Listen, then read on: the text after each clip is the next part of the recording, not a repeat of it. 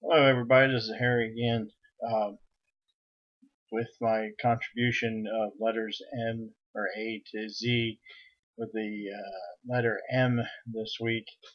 And uh, my pick is a movie uh, by Robin Williams that came out in 2006. It's called Man of the Year.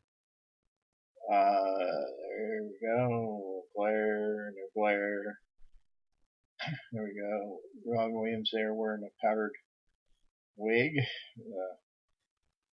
Uh, this movie was, um, I saw this in the theater with my wife, uh, then girlfriend back in uh, 2006.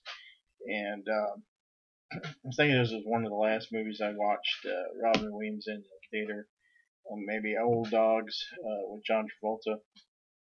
Might have been the other one. Um, I, I actually enjoyed this movie. Uh, it's gotten a lot of crap uh, from the critics, uh, mainly, and who gives shit what critics say.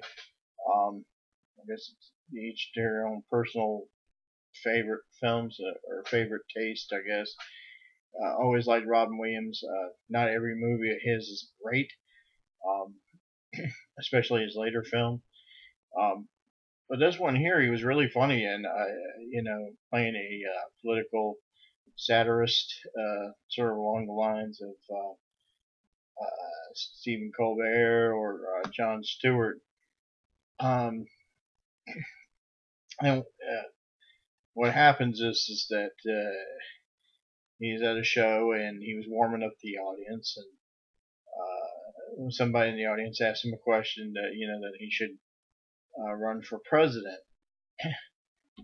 and I guess he had thought about it, you know, he, uh, and he announced uh, um, on his next show that he had that he was going to run for president. And he was trying to run a serious campaign. and um, and people didn't like that, you know, be, uh, him being serious. They were so used to him being uh, silly, telling jokes and stuff like that. Um, he wasn't leading in the polls. Um, just to let you know who who else was in the film uh, besides Robin Williams was uh, Christopher Walken uh, and Laura Linney. Um, um, for IMBD here. Uh,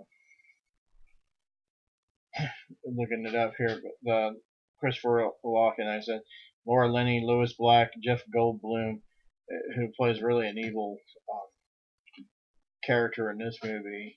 Um, excuse me. Um, trying to ruin um, Robin Williams' character, whose, whose name is Tom Dobbs in the movie. Um, but anyways, to uh, let you know that there was a problem. Laura Linney works at a uh, uh, worked at a computer firm uh, that uh, did computer voter um, voting machines, and uh, she realized that there was a glitch in the uh, system, and was letting the head of the company know that that there was a glitch, that the numbers weren't coming out correctly. Well, she was let go, and um, anyways, it it, it um, basically runs to the part that when they they used it in the election, and that uh, uh, Tom Dobbs uh, actually won the presidency through that glitch, and um, to his shock and everybody else's shock that he actually had won the presidency. And uh, I, I don't know. I, I, I enjoyed the film. I, I, a lot of critics didn't. I actually laughed out loud. I remember laughing out loud in the in the theater when Robin Williams was in the debate and he was just doing his shtick uh, that he normally does, and being funny and um, and making a point. Uh, but it wasn't just be funny to be funny, but he was making a point, uh, especially uh, political points um, that that resonate um, into the real world.